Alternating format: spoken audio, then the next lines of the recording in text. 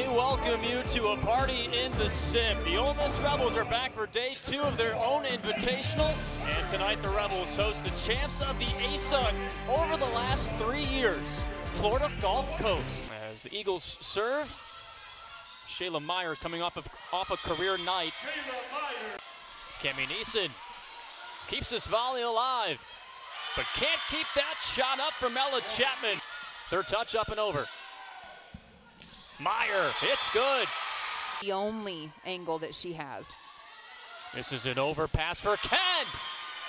Shelby Kent just ate for free and walked out and exchanged no pleasantries. Kent rejected. This keeps going. I don't know if we want this to end. Harris out of play.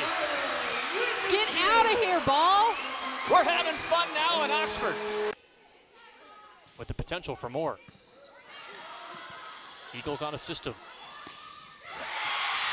And it goes to Ole Miss. Especially with their backs up against the wall in set one. They have that grit. Adapting on the fly and implementing very quickly. Off the shoulder of Kent.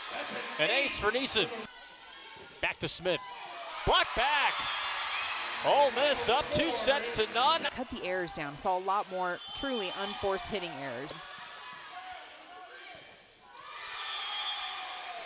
Sasha Ratliff with tough hands. One play at a time. It's one pass at a time. It's taking care of every opportunity you have when you touch the ball. Ertl covers. Davis rejected.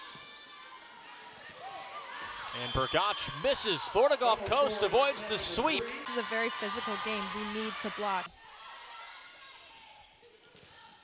Kent off the double block and down. Point for Ole Miss. Kent with a laser. Meyer, yes. Serve is out of bounds. And Florida Gulf Coast has tied up this match at two sets apiece. And a fantastic volley to begin this deciding set in Oxford. Shayla Meyer tools hands, and it manages to ricochet down. English with the serve and the swing down by Chapman, almost saved by Ammerman.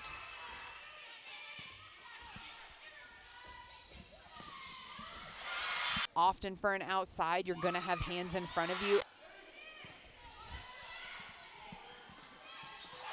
Turned away. Not a good start for Florida Gulf Coast. For the win, Dice. Near the bench. The Eagles' third touch. It is over. Duck down, Peyton Burgach. That is it for us tonight. Ole Miss takes down Florida Gulf Coast in five sets. They end that fifth set on a 3-0 run to take it.